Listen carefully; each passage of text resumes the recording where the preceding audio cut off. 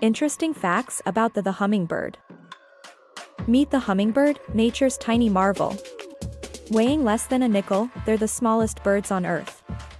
They have wings that beat 80 times per second, creating a humming sound.